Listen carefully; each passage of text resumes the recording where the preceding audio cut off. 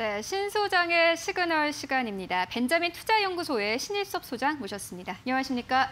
안녕하세요. 네, 소장님 오늘의 주제는 뭔가요? 오늘의 주제 네. 어, 뭐 앞서서 만나보셨겠지만 그래도 또 정확하게 알려주셔야지. 홈쇼핑. 홈쇼핑. 홈쇼핑이 위기다. 어, 홈쇼핑 좋아하시나요? 홈쇼핑을 좋아했었죠. 어. 옛날에 삼구 쇼핑 있을 때. 어떤 쇼핑이요? 삼구요. 삼구 쇼핑. 네, 모르세요? 어, 저는 저랑 나이대가 좀 다르신 것 아닌데 같은데. 아닌 것 같은데 CJ 홈 CJ 오 쇼핑이 됐죠. 지금 네. CJ 오 쇼핑 어디로 갔나요 지금? CJ 오 쇼핑은 왜 주식이 없죠? CJ 오 쇼핑은 이제 주식이 있었는데 네. 주식이 어디로 갔죠? 이제 다르게 바뀌었죠. CJ ENM이 가져갔잖아요. 음. CJ ENM에 있어요.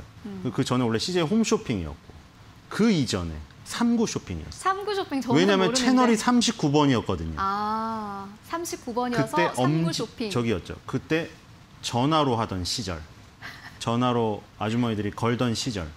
거기서 이제 엄지족으로 넘어갔죠. 모바일로. 맞나요? 모바일이 엄지족인가? 네. 네. 그때는 좋아했죠. 네. 어느 순간부터 잊혀졌습니다. 저에게도. 어, 지금 많은 사람들에게 잊혀지고 있다고 합니다. 그 이유가 뭘까요? 라방이 떠서요. 라방. 라방. 라이브 방송? 라방 아세요? 알죠. 사오정 라방 아니고 네. 라이브 방송입니다. 네. 자, 없었던 이거에- 발언으로. 자, 궁 저기 그 문제점이 네. 구조적인 문제점 때문에 그래요. 우리 그 지금 뭐 보시나요? 어떤 걸로 보시나요? 그러니까 일단 자 옛날에 지금 이봉주 선수 어, 수술 잘 끝났다고 해서 축하드리고요. 그 등이 굽으셔가지고 갑자기요?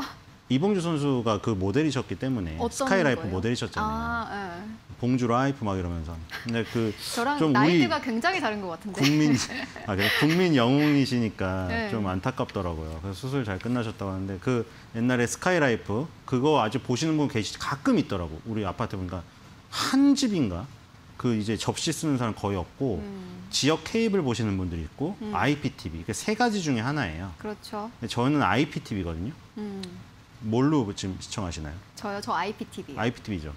IPTV가 지금 가장 많이 보시는 플랫폼이에요. 음, 케이블 TV를 2017년 정도에 역전하면서 지금은 IPTV가 대세가 됐고요. 음. 그다음 케이블이고 그다음 저기 위성이에요.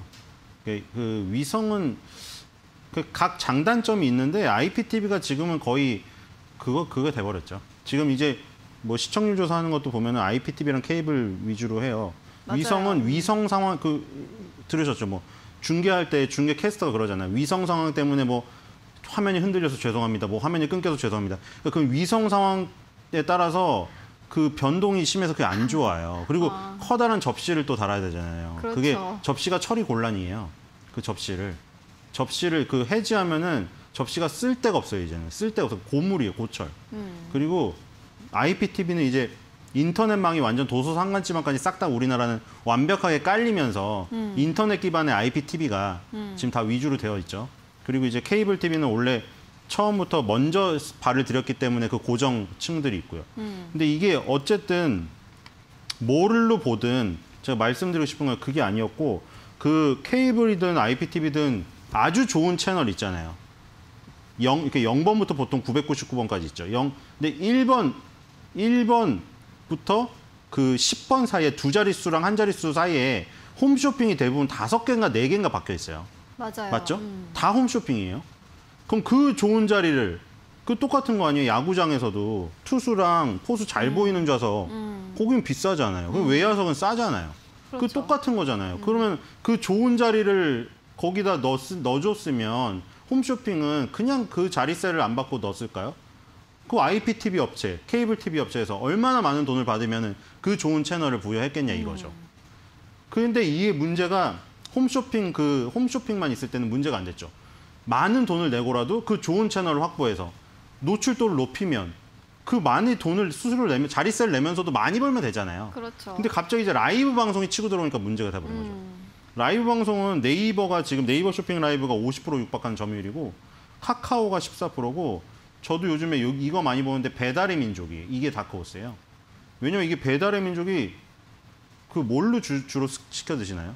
저는 배달의 민족이나 쿠팡 이츠로 시켜 먹죠. 그렇죠. 그 두 개로 지금 거의 압축되지 않았어요? 그렇죠. 저도 원래 한 다섯 개 여섯 개 깔려 있었어요. 근데 갑자기 뭐 배달통도 지금 나가 나갔죠 완전. 요기요도 요기요도 있고 있는데 결국 저기도 있죠. 뭐야? 아 나. 우버이츠 아니요 우버이츠 말고 다른 티, 팀원 말고 뭐 하나 있죠. 어떤 건지 모르겠는데 네. 어찌됐든 호랑이 제 뭐- 사자 그려진 거 있어요. 위메프 네. 아 위메프 네. 네, 그건가? 하여튼 이메프 5 음. 그것도 있는데 지금 보면은 쿠팡이츠랑 배달의 민족으로 거의 2주 이 그걸 된 것 같아요. 2강으로. 그런데 지금 어느 순간 제가 다 지웠어요. 제가 다 지웠어요. 그게 두 개만 딱 남았어요. 맞아요. 두 개만 딱 남았는데 대부분 그러실 거예요. 의식의 흐름대로 지우게 되거든요. 그렇게 내가 생활하는 패턴대로. 맞아요. 그래서 배달의 민족을 계속 들어가 음. 시키는데 거기 라방이 생긴 거예요. 아니 근데 저는 네. 궁금한 게 그 배달의 민족 라방에서는 어떤 제품들을 판매하나요? 거기에 보통 비마트에서 파는 거 팔더라고요. 음. 요즘에 그러니까 이게 비마트 때문에 또 편의점이 무너지고 있거든요, 지금. 음. 편의점을 갈 필요가 없어져 버렸어 이게. 편의점이 집 앞에 아파트 자기 동 거기에 1층에 있는데도 안 가요. 왜냐. 비마트가 갖다 주거든요. 음. 비마트가 갖다 주고 요마트가 갖다 주고. 그러니까 비마트에서 어떤 그 특별히 세일하는 상품을 라방으로 쳐버리더라고요. 아. 거기서 사버리더라고. 뭐 닭볶음용, 닭볶음탕용 닭다리 이런 거 사- 팔면은 막 닭볶음탕 막 끓이. 끓이고 막 보글보글 소리 듣고 이래버리면은 어. 사버리거든요. 그죠. 근데 그, 그 문제가 뭐냐면 네. 네이버 쇼핑 라이브는 네이버 플랫폼 이용하죠. 그죠. 카카오 쇼핑 라이브는 카카오 거 이용하죠. 그리고 저기 배달의 민족은 배달의 민족 자체 이용해요. 음. 그리고 자체적으로 그 스튜디오도 그렇고 뭐 렌탈을 할 수도 있는데 스튜디오도 그렇고 뭐 이 MC나 여성 그 비- VJ나 이런 사람들도 여기서 자체적으로 구해버리기 때문에 비, 비용이 너무 싸요. 근데 이 홈쇼핑은 지금 어디다 그 좋은 채널에 있고 그죠. IPTV랑 케이블 사업자에 돈을 엄청 내야 돼요. 비용이 많이 어느 정도 어느. 정도가 나냐면 네. 작년에 2조 2, 234억 원의 송출 수수료를 지불했다고 하는데 아. 이게 방송 매출로 벌어들인 돈의 53.1을 자릿세로 납부, 납부 했대요. 홈쇼핑 음. 업체가. 그러니까 이게 이제는 안 남, 이거 안 되는 거죠 이게. 음. 예전보다도 홈쇼핑이 이제 줄어버렸는데 3구 쇼핑 때 잘 됐어요. 음. 그때 GS GS 전에 음. LG였을 때 LG였을 때인가 GS 홈쇼핑가 아주 과거 시절에 그때 초반엔 잘 됐는데 이제는 이 그 굉장히 춘추 전국시가 된 데다가 플랫폼에 너무 지불하는 비용이 음. 너무 커져 버렸어요. 음. 그리고 이게 지금 IPTV가 아까 우리 IPTV 둘 다 지금 랜덤으로 물어봤는데 둘 다 IPTV 보고 있잖아요. 그죠. 리고 또 랜덤으로 물어봤는데 배민하고 쿠팡 이츠만 남았잖아요. 어. 이게 통계학적인 거예요, 결국에. 이거를 막 우리가 표본을 만약에 카메라 감독님이 해서 10명 넓혀도 똑같을 거예요, 이게. 그렇죠. 이런 식으로 되는데 이게 왜 중요하냐면 IPTV 힘이 세지고 있어요, 지금. 2017년에 음. 종합 유선 방송 사업자라고 그래요. 그거 SO라고 하는데 그게 케이블 사업자인데 케이블 사업자를 이 IPTV 가입자가 2017년에 추월한 이후에 지금 격차는 계속 벌어지고 있어요. 음. 그러면 이제 IPTV의 입김이 세지죠. IPTV 가입자 수가 많아지니까. 그럼 IPTV는 너 좋은 자리에 있으니까 돈 작년보다 더 내, 더 내, 더 내 계속 그러는 거예요, 이제. 음. 그러면 이제 홈쇼핑 업체는 수수료를 너무 많이 지불해야 되는 상황이에요, 지금. 2014년부터 IPTV가 지난해까지 매년 평균 31.4%를 매년 올리고 있대요, 평균적으로. 음. 송출 수수료를. 음. 올려도 홈쇼핑 업체는 말을 못 하는 거죠. 그러니까 이렇게 되면 어떤 나쁜 일이 생기냐면 홈쇼핑 사업자가 수수료를 그렇게 많이 내버리잖아요. 그러면 이, 그럴 수가 있어요. 옛날에 그런 사건이 많이 일어났잖아요. 홈쇼핑의 MD가 너무 머천다이저죠. 이 권력이 세져 버린 거예요. 그 나쁜 마음을 먹은 거예요. 그 아니 줄을 서 있을 거 아니야. 중소기업들은 홍보할 데가 없으니까 대기업들만 다 저- 적품을 내주니까 그러면 MD한테 가서 막 어떻게 보면, 아, 정말 제발 한 번만 해달라고 그러면 MD가 과도한 수수료를 거기에 또 매겨버려요. 어. 그러니까 여기 사업자한테 내는 플랫폼 사업자한테 내는 수수료를 그 중소기업 상인들한테 또 매겨버려 요. 그럼 또 중소기업 상인들은 그 떼오는 또 하청업자 있을 거 아니에요. 그럼 계속 그 악순환이 일어나서 중간에 굉장히 안 좋은 상황이 벌어지는 이런 일이 벌어지거든요. 이렇게 된 게 결국에는 IPTV의 입김이 세져서 송출 수수료가 올라가고 그리고 카카오나 뭐 네이버나 이런 그 배민이나 이런 라방이 크면서 지금 점점 어떻게 보면은 굉장히 사면초가에 몰리고 있습니다. 그런데. 제가 알기로는 이 홈쇼핑 업계들도 마찬가지로 라이브 방송에 뛰어드는 걸로 알고 있거든요. 라이브 네. 방송에 투입할 쇼호스트를 따로 뽑기도 하고 맞아요. 이 라이브 방송에 들어가는 것들을 따로 홍보하기도 하고 그러더라고요. 네. 그렇다면 홈쇼핑은 또 어떻게 좀 돌파구를 마련을 하고 그러니까 있나요? 그건 지금 어쩔 수 없이 방어를 치는 거죠. 음. 이게 어쩔 수 없이 그럼 돈 비용이 또 드는 거예요.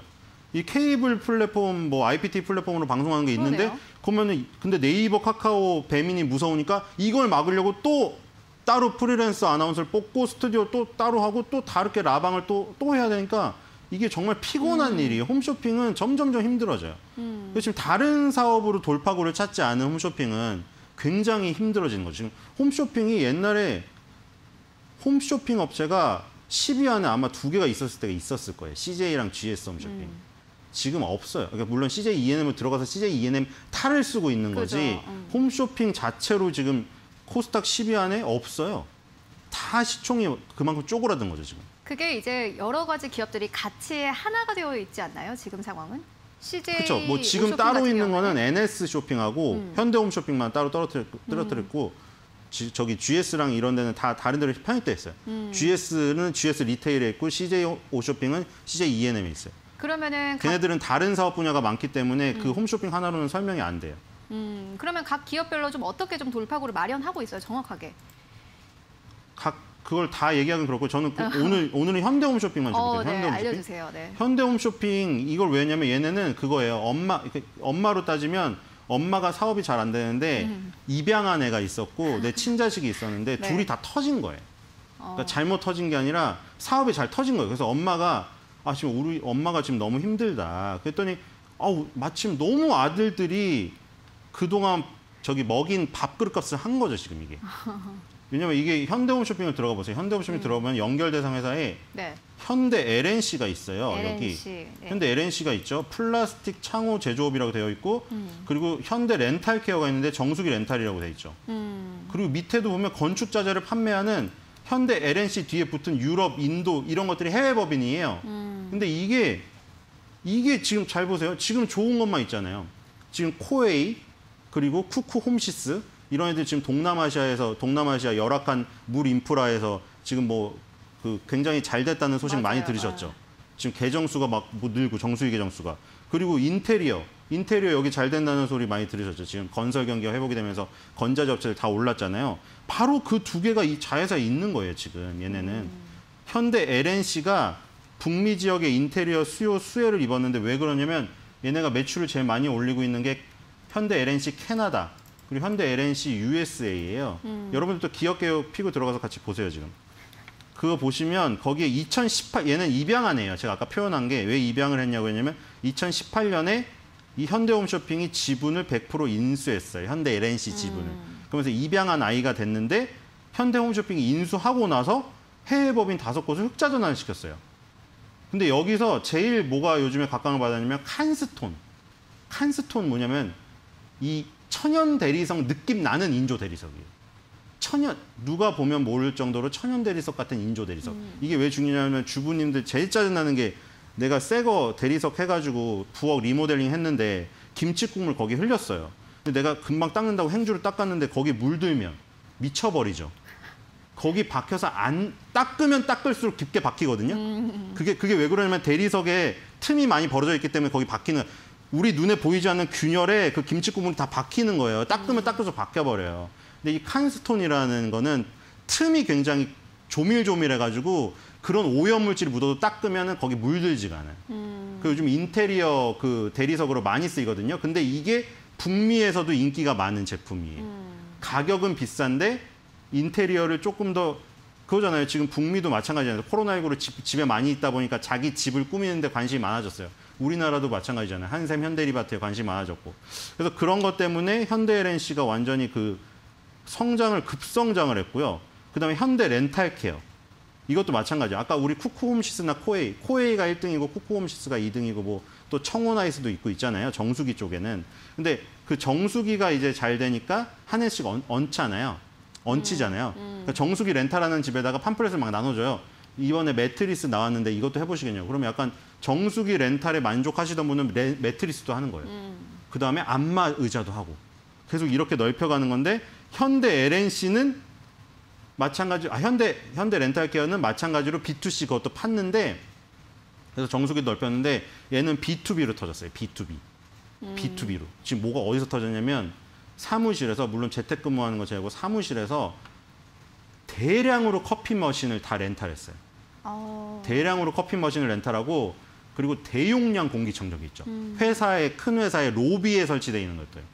왜냐하면 지금 공기 순환이나 이런 것들이 중요시 되다 보니까 그렇죠. 공기청정기가 우리 집에 있는 그런 작은 공기청정기 아니라 회사 로비에 설치해져 있는 대용량 공기청정기 그거를 렌탈을 많이 쳤어요. 그래서 지금 정수기도 하고 에어컨도 하고 공기청정기 뭐 영유아가구 뭐 임대 관리 다 하는데 이 누적 계정수가 얘네가 39만 개까지 갔는데 40만 개 넘어서면서부터 얘 흑자 전환한대요. 그러면 이렇게 되면 이제 현대 LNC랑 현대 렌탈 케어가 다 흑자 전환이 되는 거죠. 그러니까 지금 얘네는 홈쇼핑 쪽이 좀 홈쇼핑 쪽이 라방의 위협으로 인해 가지고 좀 축소되는 거를 자회사로 돌파를 하는 거예요, 이게. 이런 것들이 굉장히 뭐 좋은 것들이 많이 있잖아요. 예를 들어 그러면은 소장님께서는 네. 그 여러 가지 홈쇼핑을 가지고 있는 기업들 중에는 현대 홈쇼핑이 그나마 돌파구를 잘 찾고 있다 이렇게 보시는 건가요? 자회사가 가장 반짝반짝거리죠. 자, 어, 예를 들어 음. 예를 들어 DI 동일 같은 거 이미 가버렸으니까 DI 동일, DI 동일, 크로코 저기 크로코다일 악어 옷 만드는 회사인데 어. 옛날에 동일 방직이에요. 방직 회사. 근데 DI 동일 네. 지금 어떻게 됐죠? 지금 미친 듯이 올랐죠. 지금 음. 31만 원이 됐어요. 음, 5만 원짜리가 이게 왜 이렇게 됐냐? 이게 왜 이렇게 됐죠? 어떤 이유에서? 2차 전지요. 음, 자회사에서. 음, 자회사. 그러니까 자회사가 아들이 뛰어나면 본업을 뛰어넘을 정도의 그 어떤 트렌디함이 있으면 저렇게 돼버려요. 그러니까 현대 홈쇼핑도 이름 자체가 사명이 홈쇼핑이고 홈쇼핑이 위주여서 그런데 네. 얘네가 보세요. PER 6배. PER 6배. PBR 0.5짜리거든요. 음. 이게 그쵸? PER이 10배도 안 돼요. 그러니까 지금 10배도 안 되는 이런 PER, PBR을 갖고 있는데 자회사를 뜯어봤더니 지금 가장 이슈가 되는 건설 경기 회복에 기대된, 기대된 인테리어 회사가 있고 렌탈 제품을 파는 렌탈 회사가 있는데 음. 둘다 잘 돼요. 음, 근데 이, 이, 저기, 이 PER과 PBR을 보면 현대홈쇼핑의 어떤 홈쇼핑이라는 그 틀에 갇힌 가치 같거든요. 지금 보기에는. 음. 그러면 저 가치가 평가를 받으면 저런 식으로도 움직일 수 있는 거죠. 그렇다면 얘가 지금 DI 동일이 24배까지 갔거든요. PER이 어, 지금. 그렇다면 그런 거가 끼면은 네. 저렇게도 업그레이드 되는 경우가 나와요. 네, 그렇다면 소장님, 그 홈쇼핑 쪽은 그러면 판매가 잘 되나요? 사실 이게 현대 홈쇼핑이 홈쇼핑이라는 판매가 기업이잖아요. 아주 잘 되진 않죠. 음, 네. 그렇다면 이런 호재성 이슈 혹은 뭐 돌파구가 있음에도 불구하고 사실 본업은 홈쇼핑이잖아요. 그렇지 않습니까? 그렇죠. 그렇다면 그 부분에 있어서는 좀 투자를 꺼려 하시는 분도 있을 것 같아요. 분명히. 근데 본업을 잘해야지. 이렇게 생각하시는 분들이 더 많지 않을까요? 그렇죠. 그러니까 그 본업에 집중을 해서 음. 그 자회사의 그 가치가 아무도 공감을 안 해줘서 수급이 안 들어와 버리면 그냥 저 PR, PBR에 머무르는 거예요. 음. 근데 뭐 저 저 자회사의 성장에 관심을 갖거나 이런 것들이 많아진다. 어. 그러니까 지금 예를 들어 보고서가 증권사 보고서 같은 게 나오잖아요. 네. 그럼 그것도 힘을 실어주는 거고 일단 실적이나 이런 건 나쁘지가 않기 때문에 기본적인 거는 하는 거예요. 음. 지금 매출액은 2018년부터 매년 증가했고 음. 영업이익도 한 1년도 안 빠지고 매년 증가했어요. 음. 이- 홈쇼핑이요? 예, 이런 이런 튼튼한 재물을 갖고 있는 상황에서 저런 어떤 뭐라고 해야지? 약간 트렌드가 들어와서 트렌드 바람이 불었을 때 음. 그런 것들이 잘 엮이면 그렇게 될 수도 있다. 네. 그러면 그런 한... 거를 바라봐주는 공감대가 많이 형성되면 그런 것들이 증권사 보고서가 힘을 실어줄 수도 있고 증권사 보고서를 다시 재송출하는 언론 기사로 또 힘을 실어줄 수도 있고 그게 뭐 나쁜 것만은 아니에요. 아, 그게 그렇죠. 막 음. 그런 뭐 기사로 휘둘리고 뭐 정치 테마주 이런 것 휘둘리고 그런 것 때문에 그런 건데 어느 정도 시가총액이 좀 되고 그런 도움을 받는 거는 나쁜 건 아니에요. 음. 왜냐면 똑같잖아요. 사람도 굉장히 훌륭하고 이런 사람인데 뜨지 않고 숨어 있는 사람들이 있잖아요. 보석 같은 사람. 그렇죠. 그런 사람들이 조금 언론을 타고 조금 이제 어, 스타일리스트가 좀 가꿔주고 이러면 스타가 될 수가 있는 거거든요. 아. 네, 아유 비유가 그러니까 약간 그런 거예요. 음, 알겠습니다. 현대 홈쇼핑. 현대 음, 홈쇼핑 시가총액이 1조 1조짜리예요. 네, 알겠습니다. 네. 현대 홈쇼핑에 대해서 이야기 나눠보고 왔는데요. 현재 뭐 홈쇼핑 업계 힘들지만 현대 홈쇼핑 이를 상쇄할 만한 여러 가지 좀 업종들 그리고 사업들을 꾸리고 있다라는 부분 함께 짚고 왔습니다. 네, 지금까지 벤자민 투자연구소의 신일섭 소장과 함께했습니다. 고맙습니다.